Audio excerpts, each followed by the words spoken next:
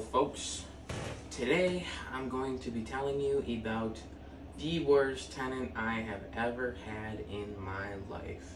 A junkie that trashed my house, did drugs in my house, turned my house into a whorehouse, did basically everything possibly bad you can imagine, trashed two of my fucking hot water heaters, broke a furnace, clogged my sanitation line multiple times from flushing repeatedly shit down the toilet on purpose to clog my lines and leaving meth and needles out in my driveway and yard and trying to put screws under my tires to pop my tires stealing from me literally stealing from like every problem you could think of having i've had with this girl.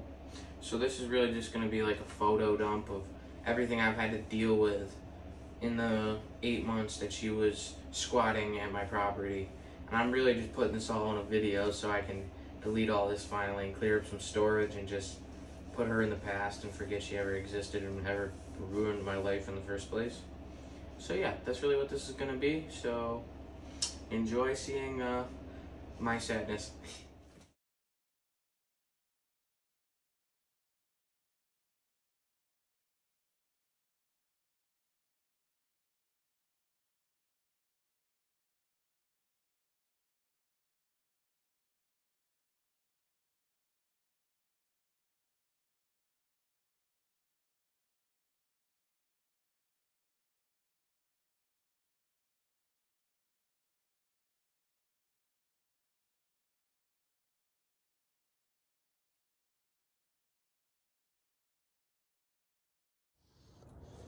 Well, boys, on today's episode, they broke my door and they broke their little crack camera off. But other than that, it's been going good, I guess.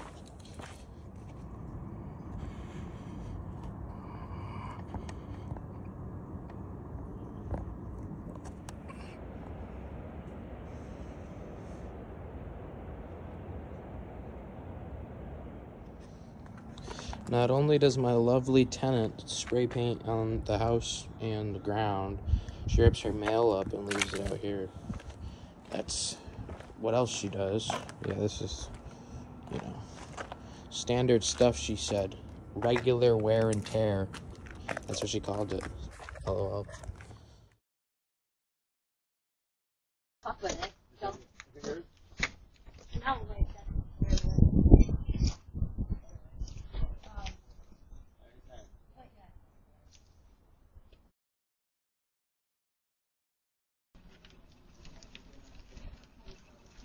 How much can it take? No. I'm gonna play nice until I don't play nice anymore, and then. Um... Hey, you guys really can't park there. I'm parking here. You don't own the I fucking do. I'm calling them right now.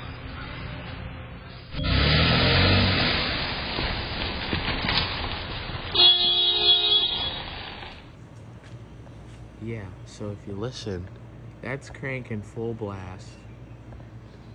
That is wide open.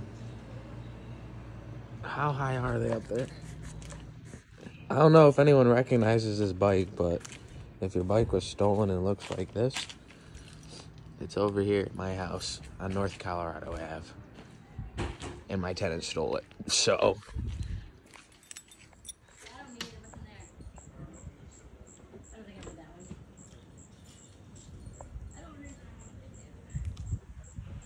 tomatoes or eggs would have been a good call. We got all the cats. No way. She got all the cats.